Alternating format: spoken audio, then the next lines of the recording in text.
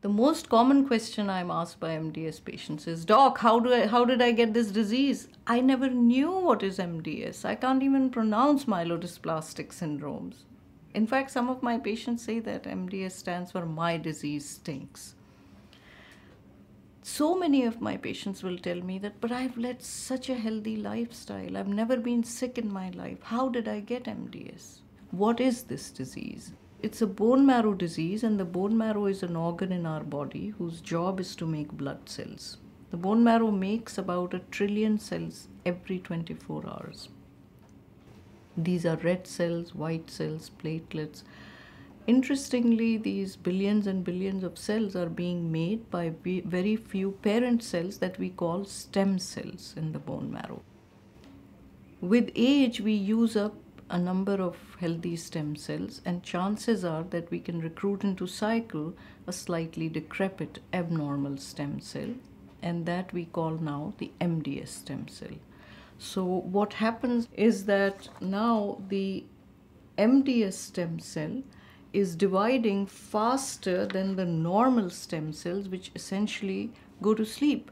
And all the cells in the blood are being descended from this transformed parent MDS stem cell now. It's making lots of cells and they are also able to reach the terminal stages of maturation, but many of them die prematurely in the marrow before they can reach the blood. So the blood counts begin to fall, and that is how patients present. The most common form of lowered blood count is anemia. 80 to 85% patients with MDS would be an elderly individual who is going to present with anemia. Secondly, MDS really can be divided into two types lower risk and higher risk. Risk of what? Risk of developing acute myeloid leukemia is either low or high.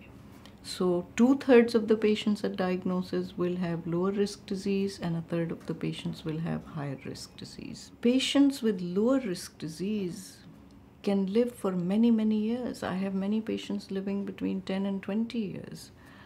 Uh, but they do require a lot of supportive care measures, such as transfusions with uh, blood, with platelets.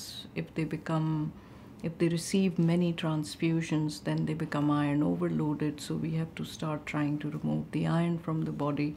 So, in summary, MDS are bone marrow malignancies which predominate in an elderly population. As our population is aging, these are becoming more common.